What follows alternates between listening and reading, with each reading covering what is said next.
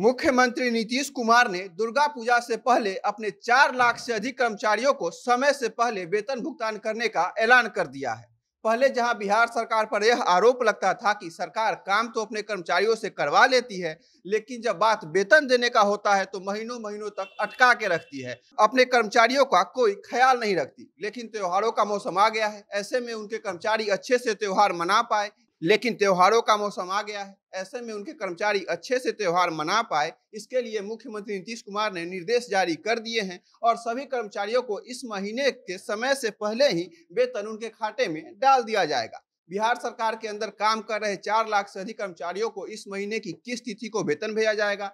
नीतीश कुमार के निर्देश के बाद किस विभाग ने इस पर फैसला लिया है? अब तक किस तारीख को सरकार अपने कर्मचारियों को वेतन का भुगतान करती थी? और सरकार के इस फैसले लेने के पीछे क्या वजह बताया गया है? सब आपको बताएँगे। नमस्कार मेरा नाम परितोष शाही है और आप जनता जंक्शन देख रहे हैं। अपने सपनों की आशिया को दे एक नई पहचान माँ भवानी डेकोर प्राइवेट लिमिटेड के साथ जो है ऑथोराइज डिस्ट्रीब्यूटर ऑफ़ कजारिया देश की मिट्टी से बनी टाइल से देश को बनाते हैं। और जहाँ मिलती है सभी प्रकार के Indian and imported granite marble sanitary एवं कोटा स्टोन का अनोखा एवं आकर्षक संग्रह। माँ भवानी डेकोर प्राइवेट लिमिटेड मतलब a complete floor solutions new zero mile Dadar road Muzaffarpur call double nine three four seven five three triple one आप हर दूसरे दिन पटना की सड़कों आरोप बिहार सरकार के कर्मचारियों के द्वारा किए जा रहे आंदोलन के बारे में समाचार में सुनते ही होंगे।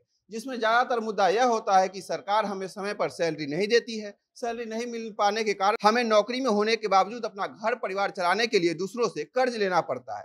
जिस तरह का जीवन बिहार सरकार में काम कर रहे लोग जीते हैं, उससे अच्छा जीवन तो एक डेली बेज पर काम कर रहा मजदूर जीता है, क्योंकि उन्हें समय पर पैसा तो मिल जाता है। उन्हें किसी के सामने हाथ तो नहीं फैलाना पड़ता। यह बात बिहार सरकार में काम कर रहे अधिकतर कर्मचारी कहते रहते हैं। बिहार सरकार के बारे में एक बात तो बहुत मशहूर है कि यहाँ की सरकार होली और दिवाली पर ही अपने कर्मचारियों को सैलरी देती है। यानी लगभग छह महीने के अंतराल पर उन्हें सैलरी मिलता है। इन सब आरोपों के बीच अब बिहार सरकार ने अपने नौकरशाहों के लिए एक दिल खुश कर देने वाला न्यूज़ दिया है।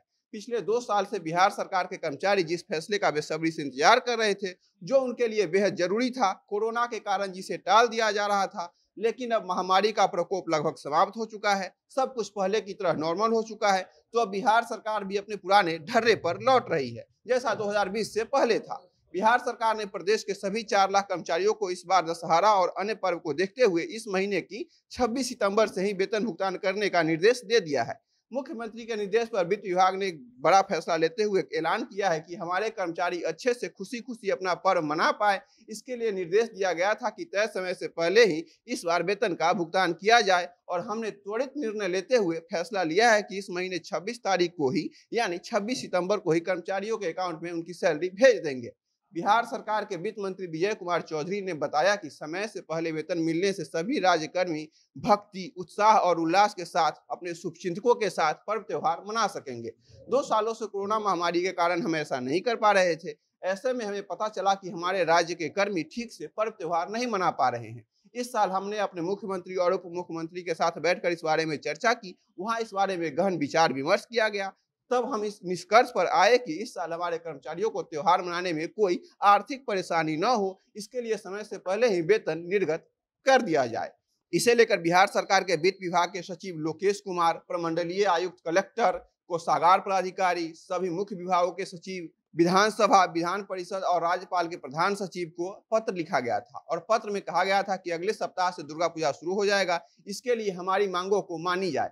अब सरकार ने इस मांग को मान लिया है और वेतन का भुगतान इस महीने की 26 तारीख से होना शुरू हो जाएगा। बिहार सरकार के इस फैसले से सभी राज्यकर्मी खुश है क्योंकि नौकरी में होने के बावजूद समय पर वेतन न मिलने के कारण ये लोग अच्छे से कोई पर्व त्योहार नहीं मना पाते थे। अपना घर परिवार चलाने के लिए उन्हें दूसरों से कर्ज लेना पड़ता था और फिर छह महीने बाद जब सरकार उन्हें सैलरी देती थी, तब इनके वेतन का लगभग आधा पैसा तो कर्ज चुकाने में ही खत्म हो जाता था। नौकरी में होने के बावजूद इनकी आर्थिक स्थिति ठीक नहीं थी। समय पर न वेतन मिलने के कारण काम की प्रोडक्टिविटी में भी कमी आती थी। इनको काम में मन नहीं लगता था। लेकिन अब ऐसा लगता है कि जब से नीतीश कुमार ने नया गठबंधन किया है और तेजस्वी यादव के साथ आए हैं, सब कुछ ठीक होता नज़र आ रहा है। ऐसे में अगर आप बिहार सरकार के कर्मचारी हैं या आपके परिवार के कोई सदस्य बिहार सरकार के अंदर काम कर रहे हैं तो आपके लिए यह एक बेहद अच्छी खबर है, क्योंकि इस महीने के अंतिम तारीख को नहीं, बल्कि पाँच दिन पहले ही कर्मचारियों को सरकार वेतन दे देगी।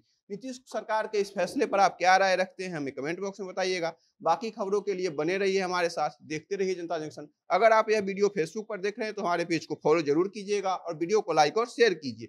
अगर यूट्यूब पर देख रहे हैं तो हमारे चैनल को सब्सक्राइब कीजिए। बाकी खबरों के लिए बने रहिए हमारे साथ। कैमरे के पीछे मेरे सहयोगी हैं विशाल। बहुत बहुत धन्यवाद।